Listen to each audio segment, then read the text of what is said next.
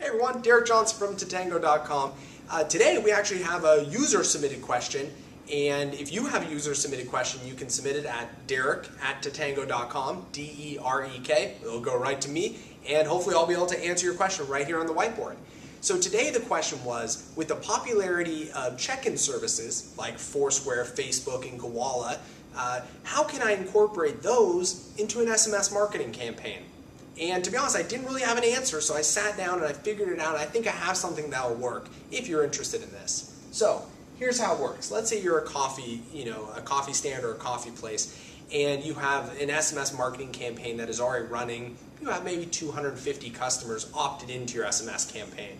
Well, what you would do is you'd send out a text message, and instead of putting, you know, show this text message for 50% off a scone with the purchase of a, you know, a large coffee, what you're going to do this time is you're going to incorporate a check-in service into the SMS. So what you're going to say in the SMS message is you're going to say, you know, check in today on Gowalla or Foursquare, Facebook, uh, by 5 p.m. and receive a free coffee with the purchase of a scone. So now, and what you want to do is you want to put obviously, you know, a link obviously to Foursquare, Gowalla, or the, the check-in page that you're trying to direct them to. Uh, now what you're doing is you're encouraging them to, or you're spurring the action via SMS, but not giving them the discount in the SMS message. Pretty cool. So what you would do is you'd send the message out to everybody. Everybody would get the message and say, check in today. Uh, they would go, wow, I need to get there by 5 p.m. They would run over to the restaurant or the coffee place or the business, and they would go on their phone, check in, and they'd receive the discount. The reason why businesses are interested in this is that when they check in, uh, it promotes their check-in to all their you know followers. So let's say I have 500 friends on Facebook. If I say, you know, show this text message, and I walk in, I show the text message, that doesn't really get promoted to anybody. It's, it's very private interaction.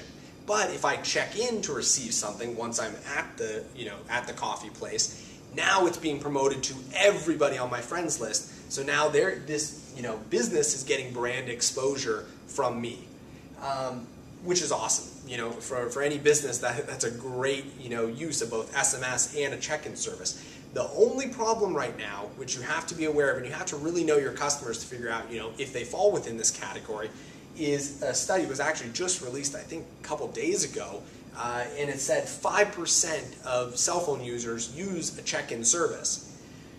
Well, to be honest, if you're sending a message to 100 people and only five people, you know, can actually check in, those 95 people are going to be pretty mad um, that they are not able to receive the discount.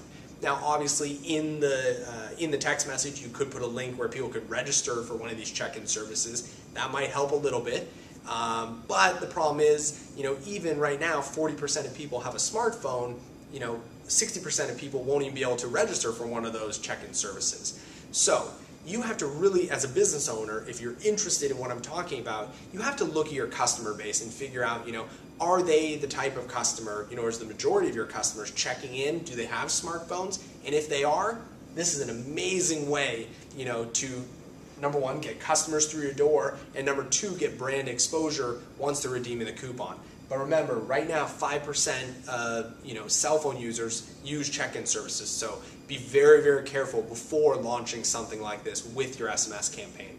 Anyway, if you guys have questions, uh, I'd love to answer them up here. You know, I, I sometimes can't, you know, come up with all this stuff myself. Uh, email me, derek at tatango.com, D-E-R-E-K at tatango.com, and I'd love to answer them. Talk to you guys soon.